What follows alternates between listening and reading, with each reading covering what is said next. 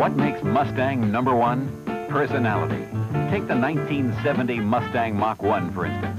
It's got recessed taillights, an optional 428 Cobra Jet V8 with a shaker, and a sporty new front end.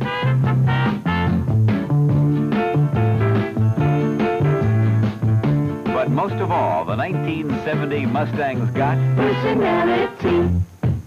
What makes Mustang number one? Personality. The 1970 Mustang Hardtop, for example. It's got an economical six to move you, and that sporty look all around you. But most of all, Mustang's got, Personality. for 1970, number one, there's Mustang Hardtop, Mach 1, and the elegant Grande. Ford gives you better ideas. It's the going thing. Personality.